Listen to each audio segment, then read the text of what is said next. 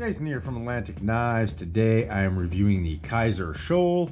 This one is model number KI3469A1. Come in a really nice box when you get them. Love the presentation that Kizer puts onto their knives.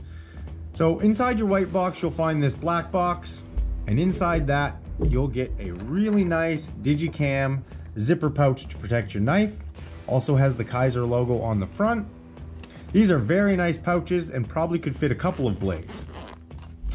So inside your pouch, you have a really nice cleaning cloth, some reading material, and your knife in a little plastic bag. So this is your Kizer Shoal. This guy comes in at 6.73 inch overall length, has six AL4V titanium handles, two position pocket clip, as well as a lanyard hole, the pocket clip is also 6AL4V titanium. And you'll notice this one is a frame lock, also has the lock bar adjustment, and some really nice pivots on them. This guy, the pivot runs on bearings and has a nice flipper tab. Super snappy out of the box. This has a 3 inch M390 stonewashed modified Tanto blade. Really like this knife.